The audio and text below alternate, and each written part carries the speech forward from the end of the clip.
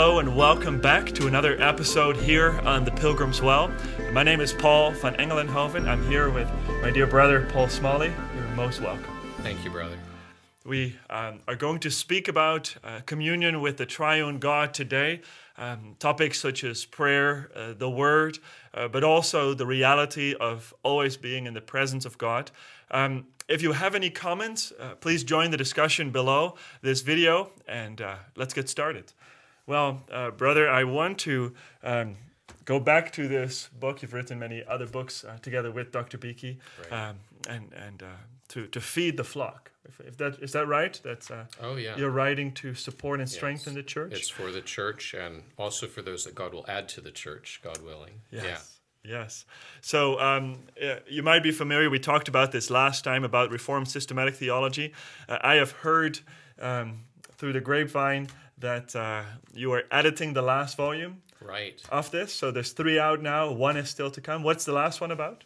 Uh, it's on the doctrines of ecclesiology, which is Mm-hmm. the doctrine of the church, and eschatology, which is last things, the second coming of our Lord. Yeah. Maybe since COVID, maybe a little bit before, but I think there's a lot of interest in eschatology where people feel that things are coming to an end or or simply long for the for the return of Christ. So uh, Right. highly recommended to dive into that. I haven't read it, but I have seen uh, the first 3 volumes and um, it's, it's been a wonderful experience. When you read it, I think you'll taste the same. Um, it is to worship God with your mind, right? You learn things, and, and it's it's careful consideration, uh, but also with your heart. Yeah, It's stirring up the heart, um, and then and then a, in a practical application as well. So it's uh, it's really I would see it. Uh, this is not the Bible, but it's a companion to help us understand Right. uh, the Bible better in, in different ways.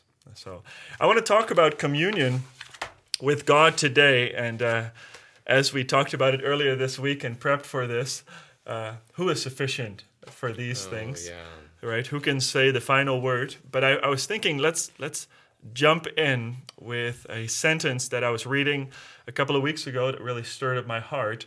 Um, and it's a short sentence. And listen, this is what it says. It's on page 150 of the first volume. In the middle of the page, it says, Whenever we speak about God, God listens with open ears to hear whether we honor him. Uh, that's not speaking about prayer directly. Right. Um, it's speaking about um, speaking about God. But what struck me is the presence of God, not just when we pray um, or when we read, but always. Um, and so, uh, would you be able to give us um, a general introduction to how do we relate to God? What is communion with God? Well, first of all, I, I think the way that you have laid this out as a foundation for what we're going to talk about is very helpful because when we're talking about communion with God, in part, we're talking about simply acknowledging what is already real, mm-hmm. and that is that God is there. Mm-hmm. That God is, is that He is, that He exists, and He is present and at work in every part of our lives. Mm-hmm. And so communion with God isn't, you know, something you go up to a mountain to find God. Um, communion with God is beginning with recognizing that He is God. He is already there. He is already involved. Um, and of course, communion with God requires that we have a reconciled relationship with Him. Mm. Can you explain that a little bit? Certainly. God is good, and He is good to all that He has created, but we are not good. Mm. We have sinned against God in many ways. That has violated His law, it has dishonored His holy name, mm. it's broken the relationship that we were created to have with God. So, if we're going to talk about having a, a right relationship with God, it has to start with coming close to Him through Jesus Christ. Christ, His Son, um, the second person of the Trinity, who became a man, who died on the cross for the sins of his people, who rose again from the dead, and who even now is at work in the world through his word to bring people back to God. Actually, at work in the world. Yes, Yeah. absolutely. Whenever the gospel is preached, Christ is preaching. He's calling people to peace with him. Wow. So, uh, whenever the people of God meet together, even if it's a very small gathering, Christ says, There am I also. So, communion with God is always through Christ, and it always involves, first and foremost, getting right with God, having our sins forgiven by the shed blood of Jesus, um, entering into that life that God has for uh, for undeserving sinners. Yeah, So, so if we think about this, if we talk about communion, and especially before we go from, from our parts, for, if, if we look at the aspect of God's communion towards us, what is the difference between um, a man who has not been reconciled to God, so, so one who has not believed in Jesus Christ and to salvation, um, and then how is that different, the way that God deals with us and, and works towards us, to a person who has come to Christ? Because obviously, God is present in both our lives. Uh, Right. He is as much in the world of the unbeliever as the believer. right. Uh, from God's perspective, or, or, or from our perspective of God, with God, how does He relate differently? That's an excellent question. Um, so, as I mentioned before, God God is good to all that He has created. It says that in many places in Scripture, and so God continues to be kind and to do good even to those who do not acknowledge Him. But um, it is not true to say that we are all God's children. Um, because even though, yes, in a general sense, as the creator of the human race, we are his offspring in a sense. Yeah. Through Adam. Through yeah, Yeah. through Adam, exactly. But that relationship between us and God, that father-child relationship, has been broken by our sin. So for the unbeliever, um, and uh, I say this as one who once was in this state, um, from God's side, even though He continues to be kind, um, God's attitude towards that person is one of wrath. God is angry against his sins. Um, God is a just and righteous God, and though he, he does not take pleasure in anyone's suffering per se, he does take pleasure in the execution of justice and making things right. And so, right now, that person is viewed by God as an enemy of God. Um, so you find that, for example, in uh, Ephesians chapter 5, where Paul talks about how that for on account of these things, he had just listed a bunch of sins, the wrath of God is coming upon the sons of disobedience, which is kind of a Hebrew way of saying people whose lives are characterized by disobedience. Wow. And from the human side, um, that person who is yet in a state of sin, even though there are ways in which he knows about God, because all creation witnesses to God's existence, and maybe this person has a Bible or at least has heard some things about the Bible, hmm. he doesn't know God. Hmm. Um, and he doesn't love God. Oh. And so, both from God's side and Yeah. from his side, there, hmm. there is no communion that is possible because they stand opposed to each other. Yeah. So there, if you look at it, if you stand with with your father and and with an enemy, you're both in front of each other. But between you and your father, if you if it's a loving relationship, there is a joy. And with you and your enemy, you're just as close, perhaps. Um, but there is antagonism Right. um, and and wrath. Uh, I'm thinking when you spoke about that passage in Ephesians, um, about the the passage in Romans where it says, "You're storing up wrath until the day of wrath." Yeah. Right, The where- righteous judgment of God. Yeah, the nearness of God is a frightening reality for unbelievers Yes. uh, because we are just as close, and whereas. Um, as, as a beloved child of God, as a Christian, you're storing up uh, joy and, and, and love to the Father, right? He rejoices in us, even though none of us are perfect. Right. Um, but if you're an enemy of God, you are storing up anger. I'm thinking of, I think it's in Jonah, where the in the Hebrew it says um, that God has a very long nose, He's long suffering. right? Yeah. And and the idea is Yeah. is when you get angry, your your face becomes red, Mm-hmm. but the last part that is red is the tip of your nose, right? It, so it takes a long time for him uh, to become angry, Mm-hmm. and yet, uh, if I put that together with Romans, uh, until you're reconciled to God, the anger of God is building. Right, the face of God is becoming red as a picture. You know, he's not a literal physical face. Every single day that they refuse to repent, every single minute that they continue in their sins, they are adding to what God's justice will require of them Yeah. on the last day. They're adding to the punishment that they deserve. Um, that's why it's so urgent that people repent. Yeah. Yeah. Save yourself from this wicked generation. Right. Right. It's Right. it's amazing how um, the gospel has become, in time, um, wrongly so, uh, you know, a plan. This is a wonderful invitation. Yes, it is. Mm-hmm. But it's also a call to run to God. Flee from the wrath to yes. come. Yeah, Yeah. This is a. Yeah. Um, so so yeah, I'm thankful for for laying that out. What does the gospel change? So if we if we depict this uh, in our small human understanding, and we see God, the the wrath of God storing up or building up towards the unbeliever, what does Christ change when we when we believe in Christ and are reconciled to God? Yes, uh, that's a that's a crucial question. Let me just read a couple of verses from Jeremiah 32. This is a summary of the work that God is promising to do um, to make those who have been His people in kind of an external way to become truly His people in what we would call a new covenant way. Yes.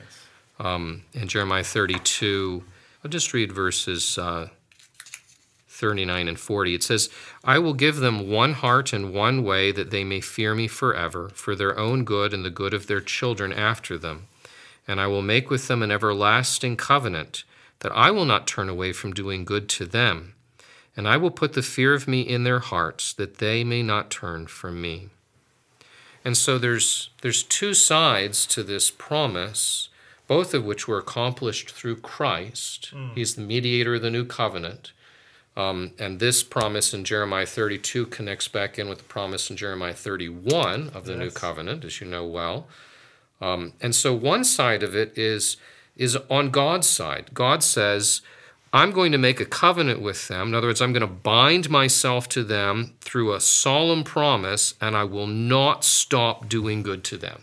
I'll never turn away from them." Yeah.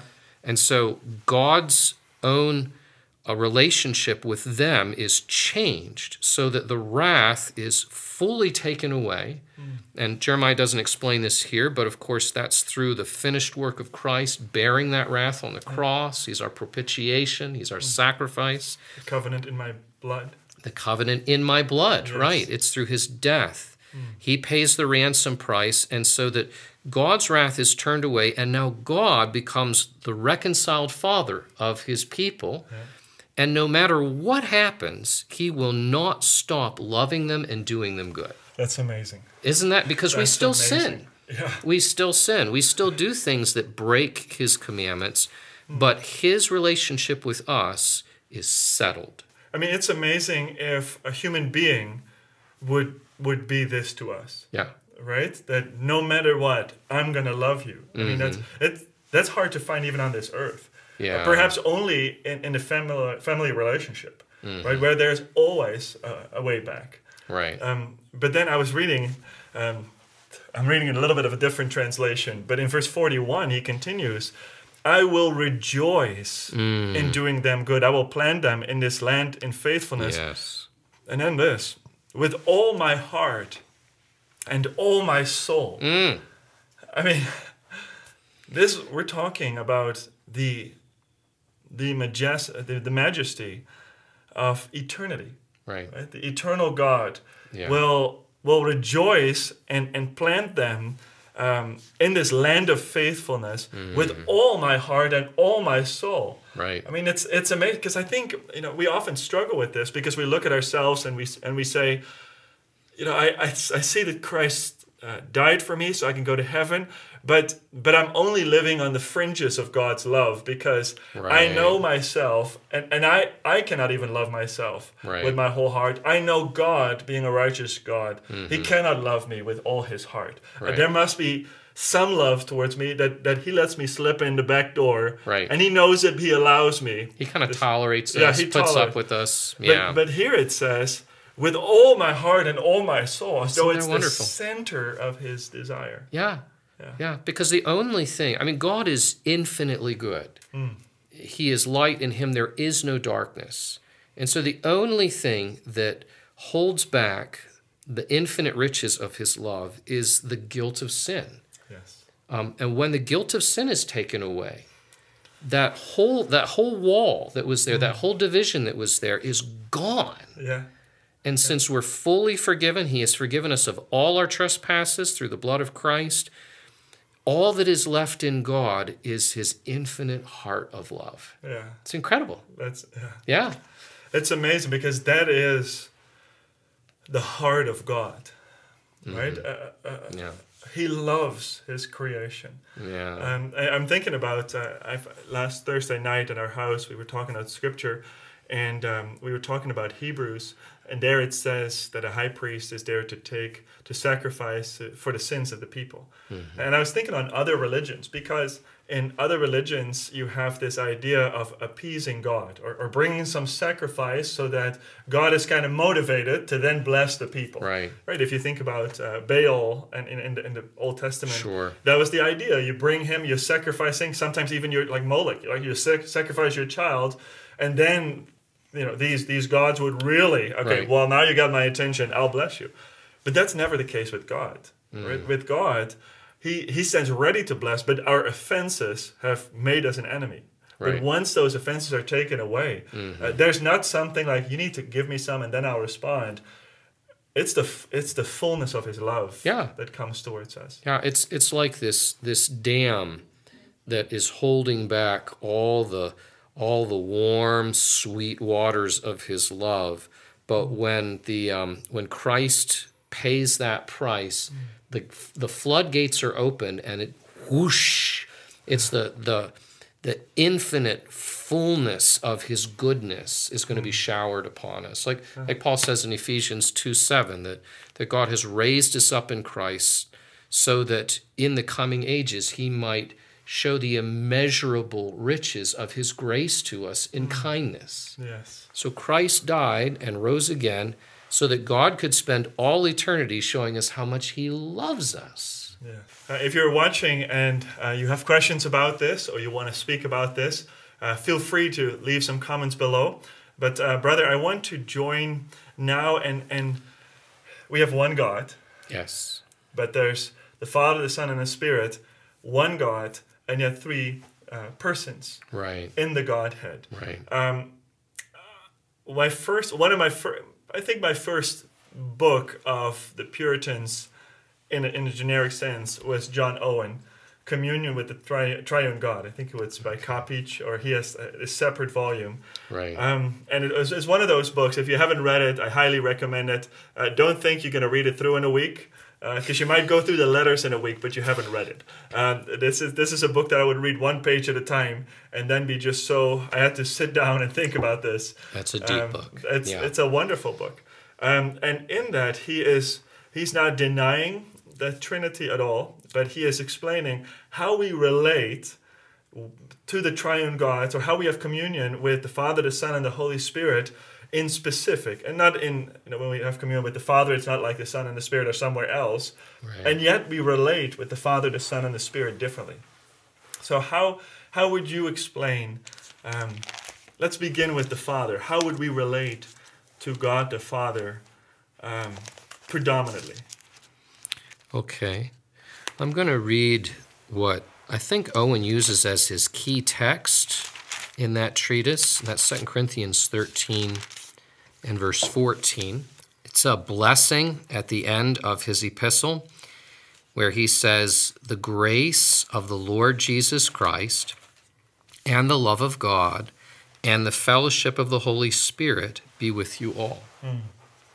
So it's very interesting because in this text, each person of the Trinity is mentioned, Yeah. and yet in a slightly different way. Hmm. And so we can see here that there is an aspect to the way that we fellowship with the Father, since He is, though they are one God, He is a distinct person within the Godhead, as opposed to, or not opposed to, but distinct from the Son and the Holy Spirit. So Paul here, interestingly enough, talks about the love of God, the love of God the Father. And if, if we think about the gospel, Like just say John 3:16. Hmm. For God so loved the world that he gave his only begotten son so that whosoever believes in him should not perish but have everlasting life. Why why did Jesus come? Hmm. Why are people saved? John 3:16 says the ultimate answer is because the Father loves us. Yes. The Father loves us. That's the hmm. deepest answer. Why why would God save any of us? Why would God save me? There, you can't go any deeper, any further than because the Father loves us. Yeah. And so it's this this almost inconceivable and certainly incomprehensible in its fullness, and yet something we can understand this love that the Father has that is at the root of all the things that Christ does, because the Son always does what he sees his Father doing. Yes. Yeah. Um, and the Spirit, of course, is sent from the Father and the Son. And so he comes to glorify the Son. And so all of all that the Trinity does as a whole originates in the Father's love. And so when we talk about communion with the Father, what we're doing is we are knowing his love in a way that stirs within us an answering love. Yeah. Yeah, I think that this is a a topic that is often misunderstood. I'm thinking specifically about people who come out of Catholicism, um, where where God the Father is angry, but then the Son is is more approachable because he came man, and then you have perhaps Mary who understands this even more. So you go to Mary, Mary then goes to Jesus, and then Jesus goes to to the Father. Um, but Scripture really turns that upside down. The reason why Mary could love is because God is love, because the Father is love. Um, and I think that we need to begin to learn uh, more and more that it is the Father's love that sent the Son. Yes. Right? It is the Father's heart's desire that if you're a Christian today, that one day, on that day, uh, you would be saved by His His Son, who is in complete agreement with the love of the Father, who then by the Spirit works that regenerating heart in you because the Father's love has been calling throughout through the ages to that day into your ear because He loves you. Right? I, I'm, Yeah. I mean, the the love of the Father. I think often we have an understanding of Jesus Christ because we see Him very clearly described in the Gospels. Right. Um, but we have a sense of of the Father as well. It depends what day you might meet Him because we see Him in the Old Testament, um, and and often people understand you know Yahweh to be the Father, but many times it's Christ as well. Right. Uh, but they see the fa- they see the Father in the Old Testament as an angry God, and in the New Testament as Jesus Christ as a loving God, and so they're they're hoping that Jesus' love is enough to make them acceptable before the Father. But Right. that's not at all No. the case because the Father loves his his people. Yeah. Yeah, he, he does. He does. The Son is the image of the Father. Yeah. And so whenever Jesus says, if you he who sees me sees the Father. So if you look at Jesus and say, Wow, he's so kind, he's so compassionate, you're seeing the Father. Yeah.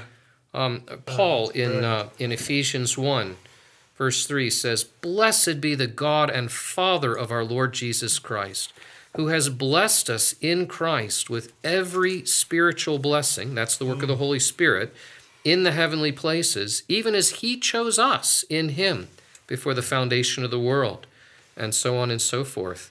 And so."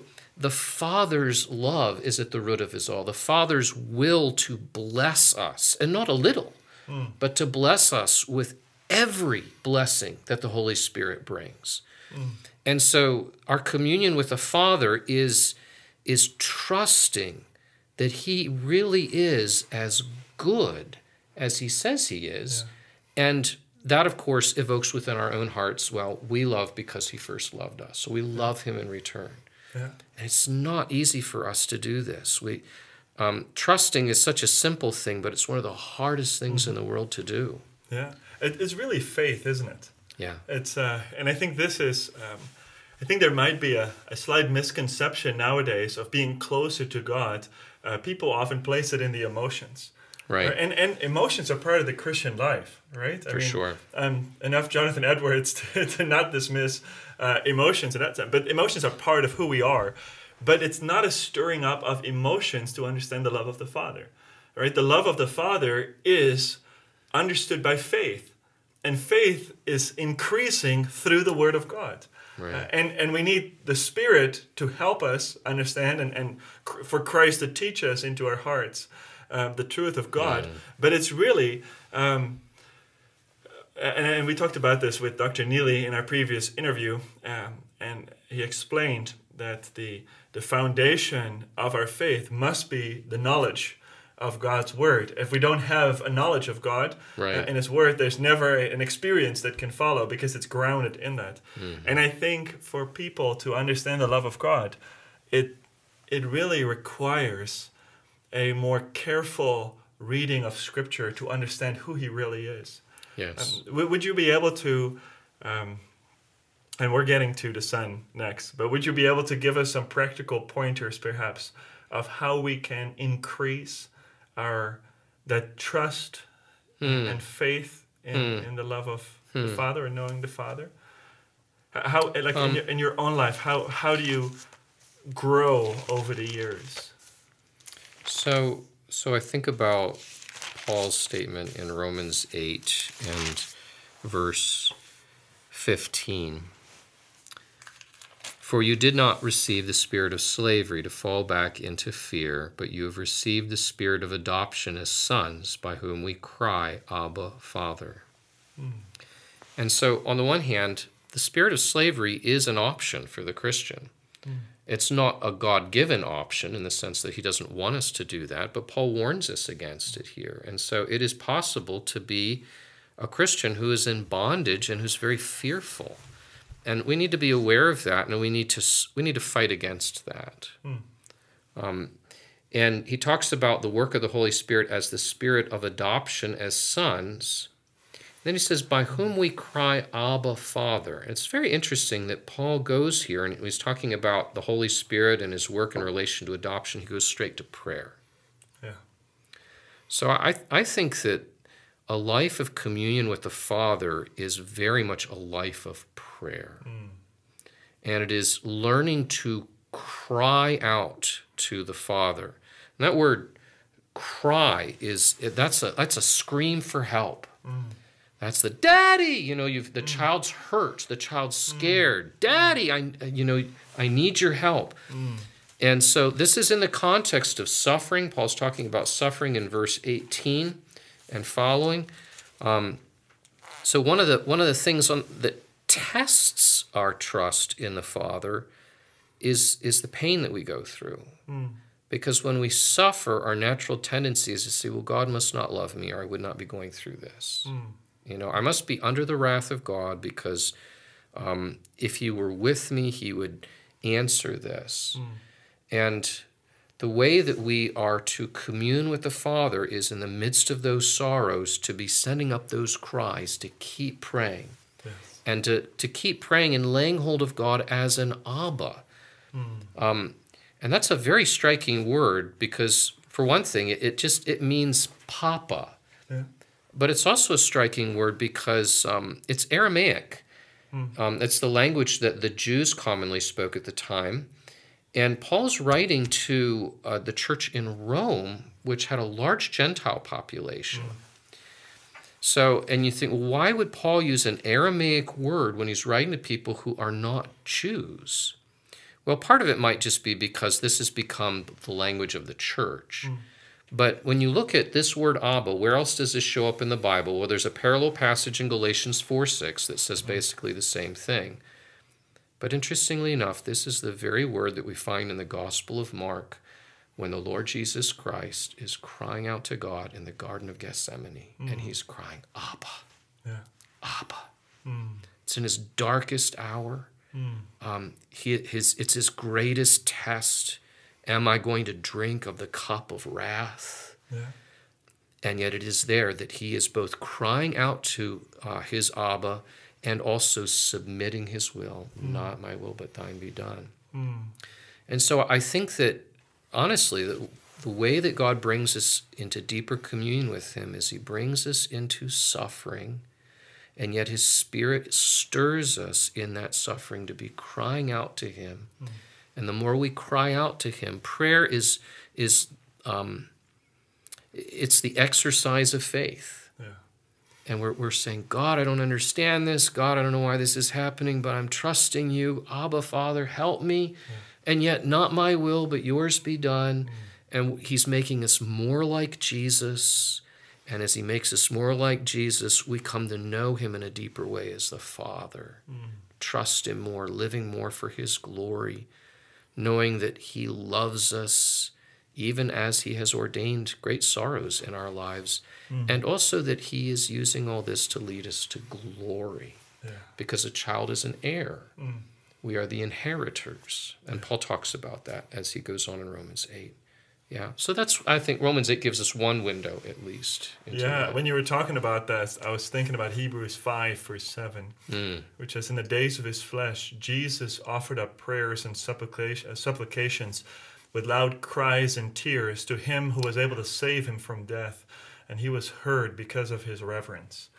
Yeah. Right, because of his awe or fear uh, of the Lord there. Right. Um, and yeah, the Lord Jesus Christ perhaps models what it means to grow and, and live in communion with the Father more than anything else, anyone else. Yes. Right. That uh, to me, that you you quoted this earlier, but when Jesus says, uh, "I only do what I see the Father doing," mm-hmm. right, and elsewhere he says that he only speaks what he hears the Father speaking. Um, I mean, that is that is communion with the Father. Yes. Ultimately, right? That constant walking with the Father and and I think we have so compartmentalized our faith life into um, a little time of perhaps with breakfast and then with lunch and with dinner mm. and hmm. maybe a little devotion before I go to bed. Uh, but the communion with the Father that Jesus models is a continuous conversation yes. with our Father. Right? Yeah. To pray continuously does not mean that you're always in your prayer room and you never eat or work, uh, but it does. Uh, but it's closer to that than what we sometimes do. Hmm right? It is mm. a hmm. con- like whatever you're doing, you're in constant communication with the Father, right? In prayer, right. So, well, brother, I want to take a, a, short break, and for you, we'll see you next time in a couple of days when this next video will be uploaded. We're going to look uh, next time at communion with the Son and communion with the Holy Spirit. And I think that last one, there's sort of a revival of interest hmm. uh, in that at, at, this time. So we'll look into that, but we'll see you next time. Uh, don't forget to like and subscribe and leave your comments in the uh, comment section. Thank you so much. See you next time.